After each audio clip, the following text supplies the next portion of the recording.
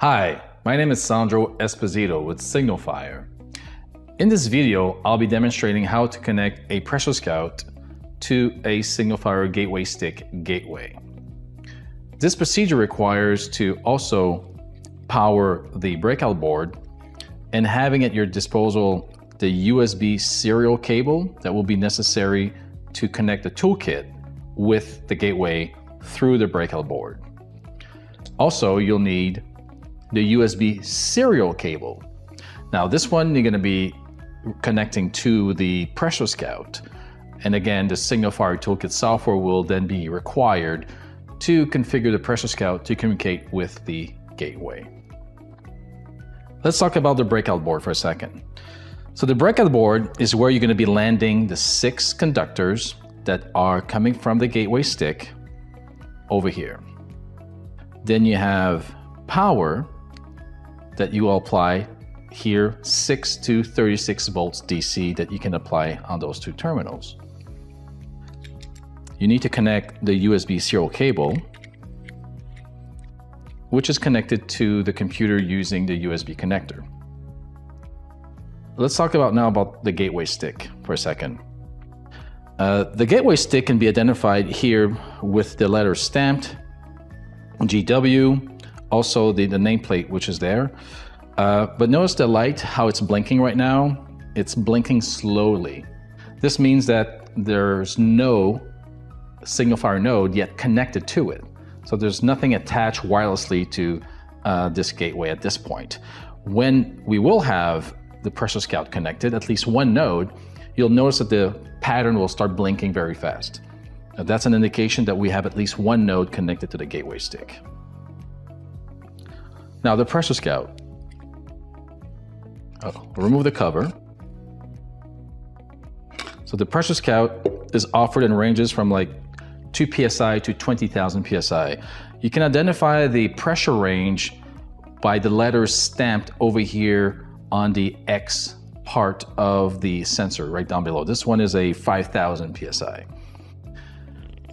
Here's the battery connector and right there you have where you're going to insert the battery connector into. And you also have a check-in button that forces the device to check into the gateway as well as a zero button this one you're going to be using to zero your pressure. You're going to release the pressure to atmosphere or whatever process you have. When you have zero pressure, you can click and hold until the light blinks back. At this point, you have zeroed the pressure sensor. So let's configure it. First part, we're to plug in the battery. And then you'll notice that the patterns of the light will start blinking fast. This is an indication that the Pressure Scout is searching for a gateway. One last important thing before we move on to the software is proximity, okay? Proximity between the antenna and the gateway. If they're too close, you will have problems connecting. The signal is too loud, essentially. So move further away, say, um, you know, a feet or two, just move it away. And that way you're gonna have a successful connection if you're doing this on the tabletop, on the bench, it's necessary to not have them too close, okay? So then the four pin connector, you're gonna insert the four pin connector as such, and we're ready to now configure the Pressure Scout.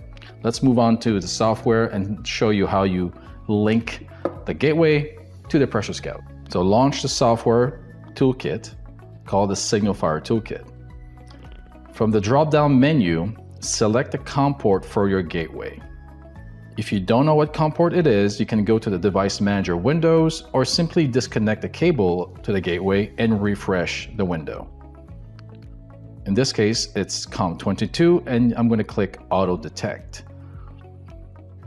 The following window is the configuration window of the gateway. You'll notice on the left hand side the firmware, the voltage, and if there's any device connected to it down below. So part one is to identify this gateway with a unique number. So I'm going to choose like a radio network of one and a network group of zero. So this essentially makes this gateway unique if should you have multiple gateways in your given environment.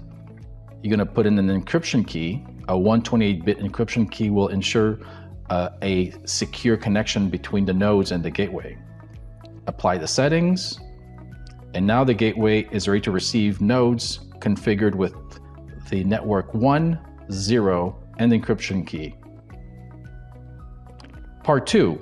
So let's now interface with the Pressure Scout. Select the COM port for your USB 4-pin cable and hit Auto Detect. If there is a new firmware available for the Pressure Scout, you'll see on the top right corner firmware update available. You can simply click on that button and hit start upgrade should you want to upgrade the Pressure Scout to the newer firmware. Down below, you'll see a list of all the new features based on the firmware.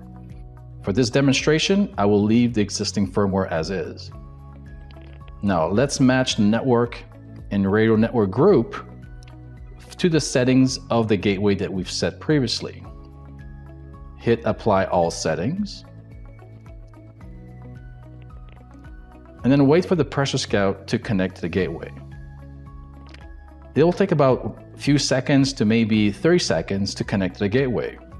You can hit the refresh button and as soon as it's, as it's connected, on the top right corner, you'll see connected and the signal strength. A signal strength of uh, minus 80 or less is excellent.